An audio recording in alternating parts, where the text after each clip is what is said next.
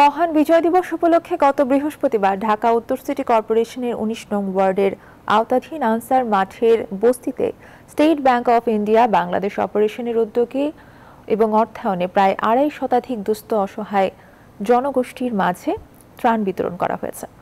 উক্ত কর্মসূচিতে উপস্থিত ছিলেন State Bank of India Bangladesh অপারেশনের head of risk management Deepak Sisodia Dhaka শাখার chief executive officer Sumanta Ghosh State Bank of ইন্ডিয়ার ঊর্ধ্বতন কর্মকর্তা পঙ্কজ কুমার শিকদার, মোহাম্মদ মাকসুদুর রহমান প্রমুখ।